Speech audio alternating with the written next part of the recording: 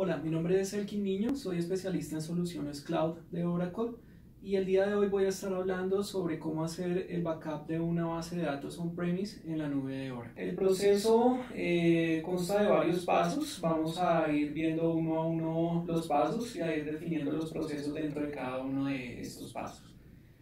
El primer paso, eh, y el más importante quizás en este caso, es crear una cuenta eh, en Oracle Cloud, a través de la cual podemos generar un contenedor sobre el cual se va a hacer el almacenamiento de este backup de nuestra base de datos. Luego de esto, vamos a requerir descargar un módulo de backup en la nube de Oracle y hacer la instalación de este módulo a través de línea de comando, el cual va a ser utilizado con eh, Recovery Manager o RMAN eh, para poder hacer el backup efectivamente en el contenedor en la nube. Luego de instalado este módulo, vamos a hacer la configuración de Recovery Manager eh, y a través de este, de todos eh, los settings que tiene nuestra base de datos para hacer eh, el backup, los cuales ya veremos más adelante. Por último, vamos a hacer el backup y a través de este backup vamos a generar un recovery.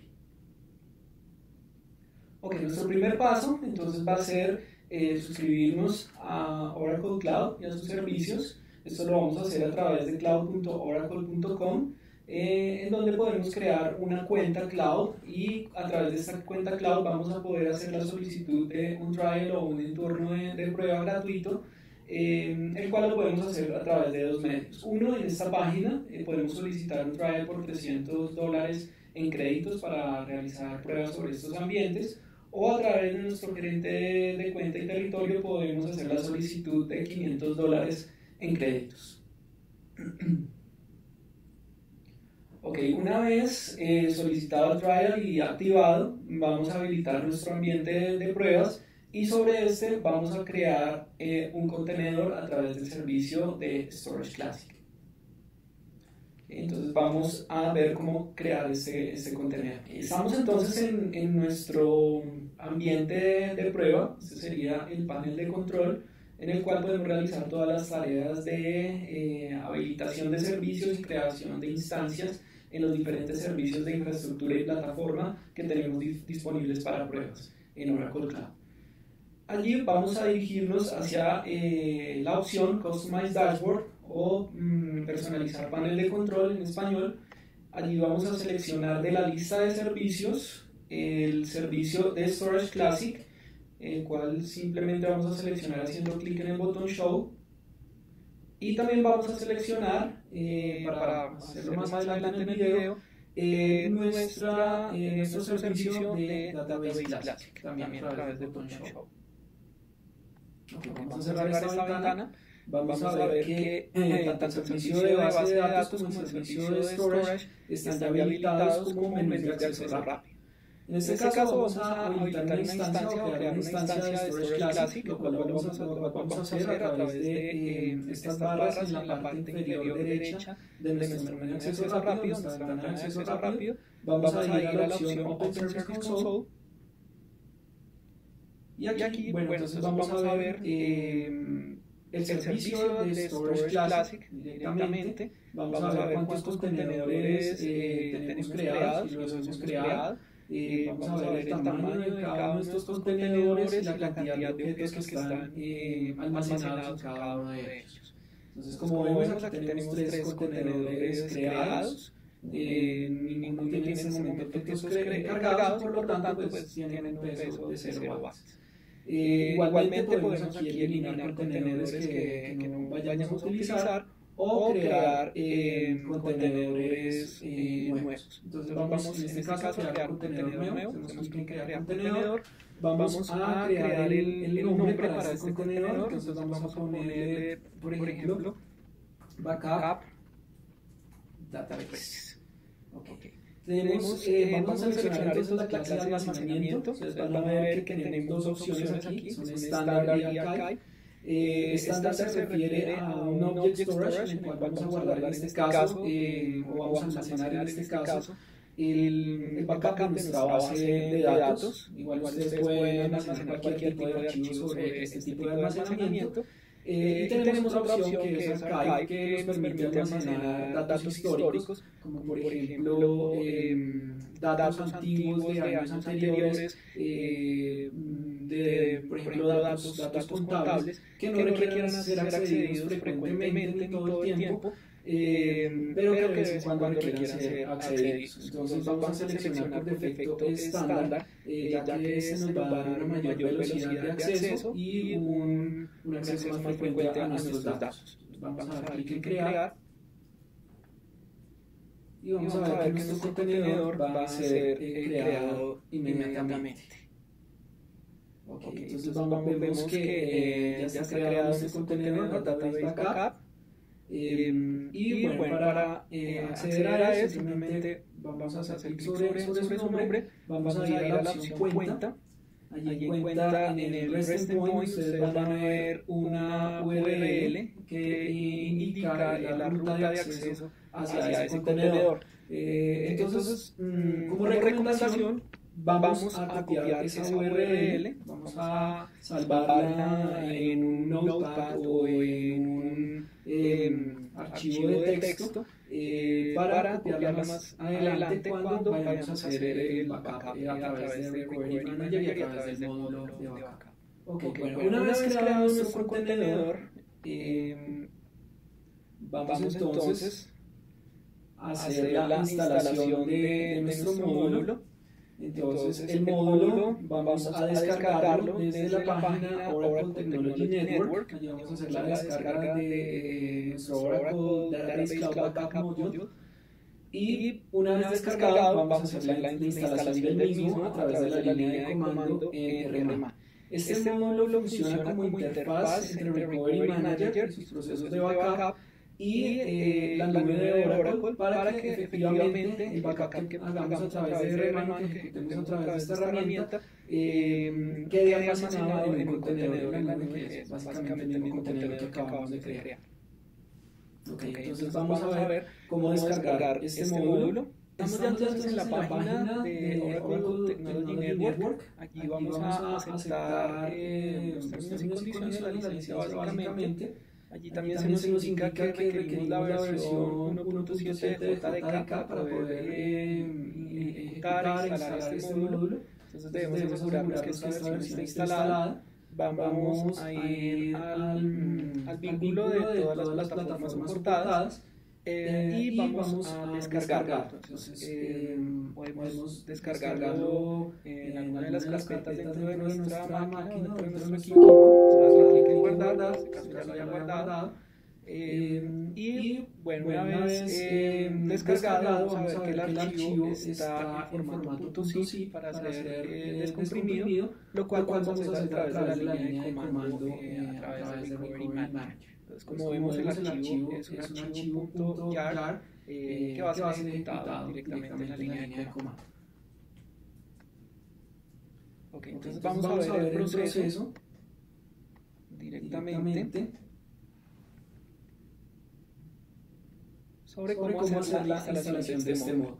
Entonces aquí, vemos la, línea de comando, eh, para, hacer la, instalación del módulo, eh, lo hacemos a través del comando Java Luego vamos, a, indicar eh, que queremos instalar este, este archivo .jar en OPC, que es la nube pública de Oracle, y vamos a indicarle la ruta donde se va a instalar hoy, donde además va a ser eh, respaldado el backup de, de, nuestra base de datos, que es específicamente la misma URL que copiamos en un momento eh, para nuestro contenedor.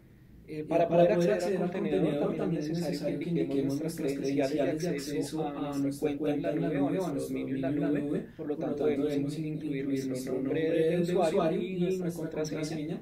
Y eso, va a crear eh, automáticamente un wallet en donde van a ser eh, almacenadas estas credenciales. Ok. Eh, bueno, el módulo va a crear eh, directamente el wallet, como vemos aquí en este comando, lo va a crear en OPC. Eh, va a inicializar los archivos en, en zip.ora, que nos indica allí que ya fueron, nos, fueron creados. Eh, va a descargar efectivamente el software o el aplicativo del módulo de, de backup eh, para que este sirva de interfaz con RMAN para hacer el backup en la nube. Y aquí, bueno, nos va a indicar entonces el estatus de eh, instalación del archivo o del módulo. Luego instalado el módulo, entonces vamos a hacer la configuración de Recovery Manager para poder hacer el, el backup. Eh, entonces como primer paso debemos acceder a RMAN a través del comando RMAN. Vamos a configurar el device type, que mm, en este caso va a ser SBT o, tape, pero em, a través del módulo de backup en la nube nos va a eh, crear el backup directamente en la nube. Luego vamos a configurar el paralelismo, que indica que podemos utilizar eh, la cantidad de núcleos que tenga el procesador para hacer que el proceso de backup sea más rápido. Vamos a configurar también los parámetros dentro de, dentro de nuestro device type y vamos a configurar entonces la compresión también para hacer que el proceso de backup sea eh, más rápido. Ok, aquí vemos un diagrama sobre cómo sería, sería este proceso de, de, backup a través de Recovery Manager. Entonces, como lo mencionábamos hace un momento, lo primero que debemos hacer es eh, descargar e instalar nuestro módulo de backup en la nube, el cual va a servir de interfaz a Recovery Manager para hacer el backup en, en nuestro contenedor en la nube. Ok, estando entonces ya instalado el módulo, accedemos a RMAN Em, llamamos rman a través del comando rman target y hacemos el login a través de eh, sysbackup para indicar que efectivamente lo que vamos a hacer es un proceso de backup. Luego configuramos el canal, que se refiere al, al, tipo de dispositivo en el cual va a ser el almacenamiento. Vamos a indicar que va a ser SBT o System Backup eh, Tape, Backup to Tape que em, en este caso a través del módulo de backup lo va, lo va, a ejecutar o lo va a almacenar en la nube de Oracle en el contenedor que creamos. Aquí vamos a generar entonces los parámetros para, la, eh, para las librerías. Okay. Em, y estas librerías pues, nos indican a través de OPC que va, va a ser obviamente almacenado eh, en la nube. Luego de, esto, entonces va a ser creado el wallet en donde van a ser almacenadas eh, las credenciales y contraseñas eh, necesarias para temas de seguridad de, acceso a nuestra, a nuestra base de datos. Y enseguida vamos a utilizar el archivo em, de configuración de OPC en este caso o de nube em, que nos define qué se va a respaldar y cómo vamos a llegar al contenedor en donde se va a respaldar esa esa información. ¿Okay? Y aquí pues obviamente también nos indica el wallet y el contenedor en donde va a ser almacenada esa información. ¿Ok? Bueno, para definir entonces cómo llego a ese, a ese contenedor en donde va a ser almacenada la información, entonces debemos indicar la URL para, para el contenedor y el ID del backup que generamos a través de Recovery Manager, que son datos que debemos indicar en nuestro ambiente eh, de, prueba en el momento en que creemos la base de datos como lo vamos a hacer al final del video. Ok. Para configurar entonces eh, RMAN, em, configuramos el dispositivo como SBT, como lo mencioné anteriormente, para que el almacenamiento se haga en la nube a través del módulo de backup. Em, podemos también configurar el paralelismo, eh, que es un proceso que nos permite que el, backup se haga de manera mucho más rápida utilizando todos los núcleos del procesador o procesadores eh, del computador o del servidor sobre el cual está instalada nuestra base de datos on-premise. Entonces, de acuerdo a la cantidad de procesadores o de núcleos que tengamos, eh, podemos definir un número para que ese número de núcleos sea utilizado y el, procesamiento del backup se haga de manera más, más rápida. Esto puede eh, disminuir las horas en las que un backup podría ser ejecutado. Ok, eh, bueno, aquí definimos entonces los parámetros, configuramos las librerías para saber cuál es la base de datos que vamos a, respaldar. Ok, y definimos entonces también la compresión o el algoritmo de compresión que por defecto en las bases de datos eh, mm, más recientes o después de la 11G eh, por defecto va a estar configurado en medio. Sin embargo, nosotros podemos configurar em, todos los demás parámetros como alto o, medio o bajo de acuerdo a nuestros eh, requerimientos, aunque es recomendado mantenerlo en medio. Okay. Luego de configuradas em, estas opciones, entonces vamos a hacer el, backup y a través del backup vamos a hacer la recuperación de, nuestra base de datos. Entonces lo que debemos hacer para el tema de backup va a ser eh, configurar el tipo de encripción que puede ser Transparent Data Encryption o TDE o a través de contraseña.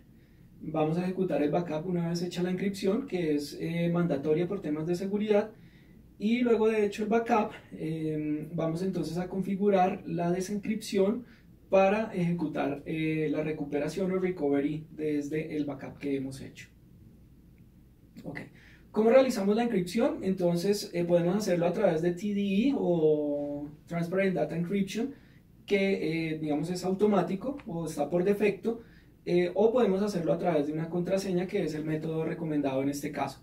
Entonces, mm, para llamar este comando, simplemente eh, ingresamos set encryption on identified by y escribimos la contraseña que vamos a utilizar eh, para cifrar nuestros datos. Em, luego esto nos va a indicar eh, que el backup va a ser realizado efectivamente en la nube, en este caso fue seleccionado SBT, que fue comprimido como lo, como lo determinamos anteriormente y nos va a indicar que va a ser creado un archive log para guardar los datos de este, de este backup. Okay, el proceso de desencripción em, funciona a la inversa de, de, cómo lo hicimos en el proceso de encripción y depende del, método que hayamos utilizado. Entonces, si lo hicimos eh, a través de contraseña, como, en el eh, ejercicio anterior, entonces el comando va a ser set decryption identify by y la misma contraseña que, que indicamos anteriormente. Em, invocamos el comando eh, restore database y luego recover database para que hagamos la recuperación de nuestra base de datos. Si por el contrario lo hicimos a través del proceso de TD o Transparent Data Encryption, eh, entonces simplemente vamos a ingresar el comando set encryption on em, y eh, vamos a entonces invocar los comandos restore database y recover database para que hagamos la recuperación. Ok, entonces ahora vamos a ver cómo em, haríamos ya el proceso en nuestro ambiente en la nube. Ok, ahora vamos a realizar el proceso de backup directamente desde nuestro ambiente en la nube. Vamos a dirigirnos primero a la opción Customize Dashboard, desde la cual podemos generar em, ventanas de acceso rápido hacia los servicios a los cuales vamos a tener acceso más frecuentemente. Entonces vamos a seleccionar el servicio de Database Classic directamente aquí dentro de nuestros servicios de Data Management. Entonces vamos a hacerle clic en Show. Esto nos va a habilitar una ventana de acceso rápido directamente aquí en nuestro menú de anclaje. Eh, y una vez tengamos habilitado el acceso, podemos hacerlo de dos maneras. Directamente dando clic sobre el nombre del servicio o en la parte inferior derecha vamos a ir a la opción Open Service Console. Cualquiera de las dos opciones nos va a habilitar entonces el servicio de base de datos. La idea de, este proceso es, por un lado, poder crear una base de datos nueva directamente en la nube, sobre la cual también podemos generar un backup y un servicio de almacenamiento para este backup. Y asimismo también podemos em, importar eh, un backup de una base de datos on-premise directamente a nuestro servicio en la nube. Entonces, eh, como vemos, ya tenemos algunos servicios de base de datos aprovisionados aquí. Nos está indicando la cantidad de CPUs y memoria que se está utilizando para este servicio. Y aquí nos indica el tipo de máquina virtual que estamos utilizando para soportar este servicio de base de datos. Ahora vamos entonces a crear un nuevo servicio. Vamos a hacer clic en el botón crear servicio. Esto nos va a habilitar eh, las opciones de aprovisionamiento y creación en las cuales debemos ingresar eh, los datos de configuración directamente de nuestra base de datos nueva. Ok, vamos a dar entonces un minuto para que cargue y allí pues vamos a poder notar entonces las diferentes configuraciones que podemos hacer para nuestra nueva base de datos. Aquí vamos a darle un nombre al servicio, que puede ser, por ejemplo, database test, ya que va a ser una base de datos de prueba, y podemos dar una, una descripción para poder identificar a futuro esta base de datos. Entonces podemos poner eh, base de datos de prueba, por ejemplo. Ok, eh, como ven automáticamente se genera nuestro correo electrónico de administrador como el correo para notificaciones, entonces allí recibiríamos todas las notificaciones eh, de diferentes tipos de, de, acceso o cambios que se hagan sobre nuestra base de datos. En región podemos seleccionar diferentes sites dentro de nuestro mismo data center. En este momento yo estoy ubicado en el data center de Norteamérica y tengo estos tres sites disponibles. Eh, ¿Por qué es importante esto? Hay diferentes eh, servicios que están asociados a la base de datos, como por ejemplo eh, Java Cloud o Mobile Cloud, otros diferentes servicios de, plataforma. Em, y al estar asociados debemos asegurarnos que estén creados en el mismo site que está creada la base de datos asociada a ellos. Entonces, mm, como es una prueba y no vamos a asociar ningún servicio, simplemente vamos a dejarla como no preference. El tipo de licencia, vamos a ver que tenemos dos modelos. Eh, tenemos el modelo de BYOL o traer nuestra propia licencia. en este caso, si tenemos una mm, licencia on-premise que queramos migrar a la nube, lo podemos hacer a través de este método y esto nos permitirá pagar solamente una fracción de lo que pagamos por nuestra licencia on-premise y tenerla efectivamente en la nube. Como es una versión de prueba, entonces simplemente vamos a hacer una suscripción a un nuevo servicio a través de esta opción y en la parte baja vamos entonces a definir eh, el tipo, la versión y la edición de nuestra base de datos. Entonces como ven aquí tenemos eh, varias versiones. Vamos a seleccionar la versión 12C. Eh, vamos a seleccionar una edición para nuestra base de datos que puede ser desde Standard, Enterprise Edition y las diferentes versiones de Enterprise Edition como High Performance y Extreme Performance. Eh, para pruebas vamos a dejar simplemente la versión estándar y vamos a mantenerla en tipo de instancia única, ya que no vamos a, necesitar más instancias. Vamos a hacer clic en siguiente, pero antes debemos tener en cuenta que si lo que queremos es migrar una base de datos eh, física a la nube eh, y replicarla con esta base de datos nueva que estamos creando, deben coincidir las versiones y ediciones de esta nueva base de datos con la que tenemos on-premise. De modo que si nuestra versión on-premise es 11G, por ejemplo, entonces esta debería ser igual 11G. Vamos a hacer clic en siguiente. Allí vamos entonces a ingresar los detalles de nuestra base de datos. Eh, aquí entonces por defecto nos da un nombre para, para el acceso a la base de datos que si queremos lo podemos cambiar. Em, el nombre de PDB debe mantenerse igual, PDB1, ya que esta es una pluggable database y no vamos a, habilitar otros esquemas u otras eh, subinstancias dentro de ella, por lo tanto pues no es necesario hacer un cambio en, en este rango. Vamos a crear entonces una contraseña de administración que puede ser incluso la misma contraseña que utilizamos para acceder a nuestro ambiente. Y aquí vamos a identificar entonces el almacenamiento para nuestra base de datos, eh, que pues obviamente debe coincidir con el almacenamiento que ustedes crean que deba tener ella. Em, si se dan cuenta, aquí podemos cambiar este, este mm, parámetro, eh, aumentar el tamaño, disminuirlo, y esto nos va a modificar el cuadro de enseguida que hace referencia al tamaño del disco duro de la máquina virtual que está soportando esta base de datos. Em, esto se calcula basados en el tamaño de la, base de datos y los archivos de eh, inicialización del sistema operativo, que en este caso va a ser Linux. También podemos definir la forma de cálculo, que es básicamente el formato de la, máquina virtual, hablando en términos de eh, núcleos y memoria RAM. Entonces aquí por ejemplo podemos utilizar un OCPU y 7.5 GB en RAM, que son pues, suficientes para esta base de 50 eh, GB y nos van a hacer la solicitud de una clave eh, o un par de llaves SSH para poder acceder a nuestra instancia de Linux, que es la infraestructura que está soportando esta base de datos.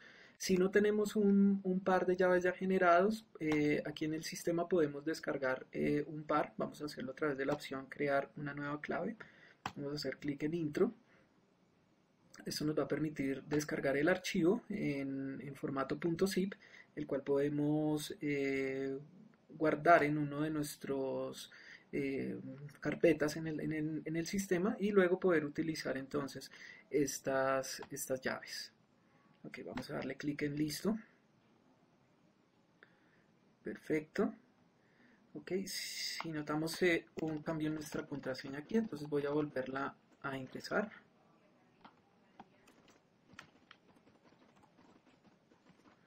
Ok. Y bueno, para temas de configuración de la copia de seguridad o el backup y eh, el recovery de la base de datos, como ven aquí por defecto, eh, nos está ya habilitando un contenedor o, un storage en el cual van a ser almacenada eh, el backup de esta base de datos.